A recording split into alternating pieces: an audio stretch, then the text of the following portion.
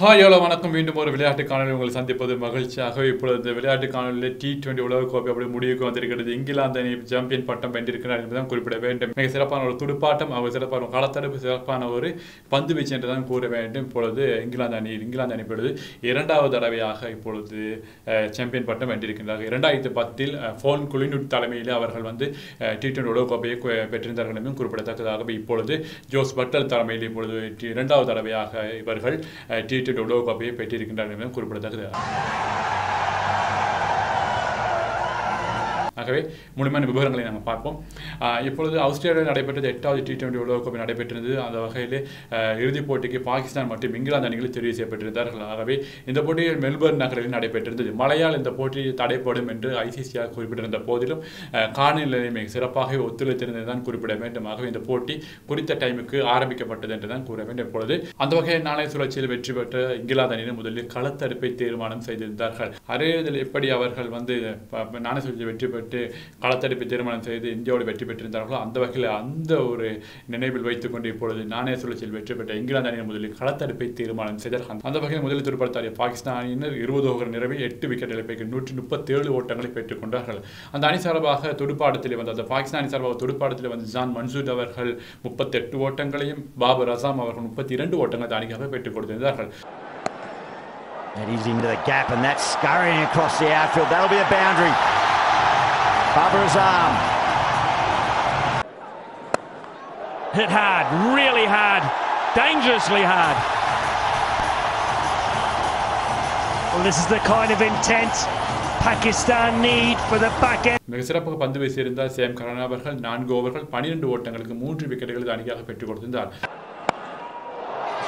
That's chipped away again, finds the man in the deep. He's been kept busy, Liam Livingston.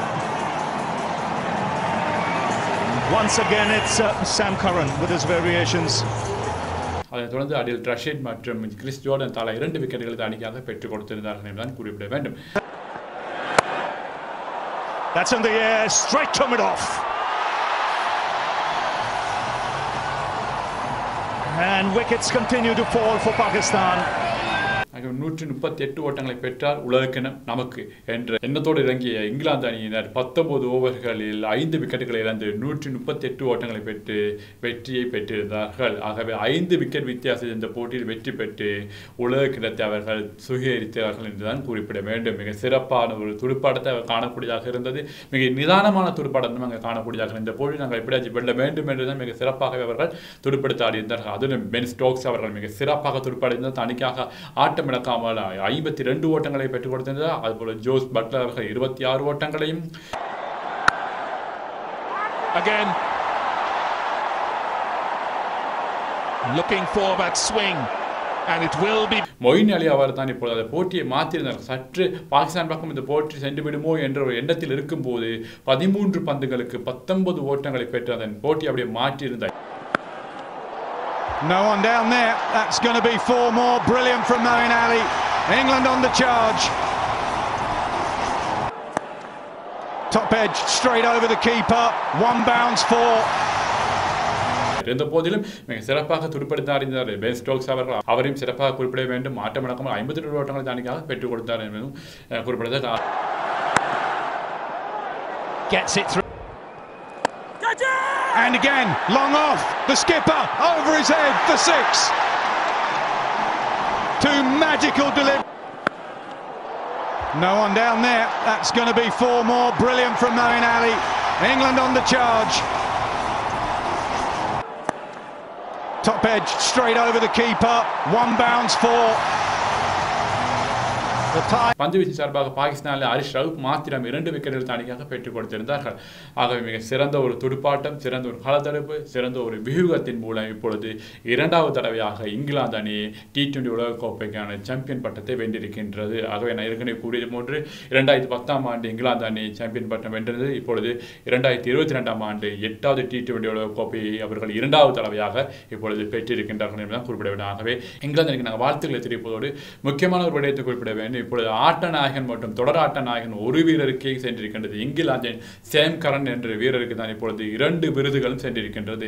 அது ஆட்டநாயகன் மற்றும் தொடர் நாயகன் விருந்து முதலாவதாக டி டுவெண்டியிலே ஒரு வீரருக்கு சென்றது. இதுதான் முதலாவது தடவையாக குறிப்பிடப்படுகின்றது. ஆகவே சேம் கரன் அவர்கள் ஆரம்பத்திலிருந்தே பந்து வீச்சிலும் சரி களத்தடுப்பிலும் சரி ஒரு சில நேரங்களில் துடுப்பாட்டத்திலும் சரி மிக சிறப்பாகவே அந்த அணிக்காக பங்களிப்பை செய்திருந்தார். ஆகவே அந்த வகையில் அவர் தெரிவு செய்யப்பட்டிருந்தார். ஆட்ட நாயகனாகவும் தொடராட்ட நாயகனாகவும் இப்பொழுது சேம் கரன் அவர்கள் தெரிவு செய்யப்பட்டார் என்பதும் குறிப்பிடத்தக்கது ஆகவே இரண்டாவது தடவையாக டி டுவெண்டி உலக சாம்பியனாக மாறியிருக்கின்ற இங்கிலாந்து அணிக்கு நாங்கள் இப்பொழுது வாழ்த்துக்களை தெரிவிக்கின்றோம் He's hit it leg side.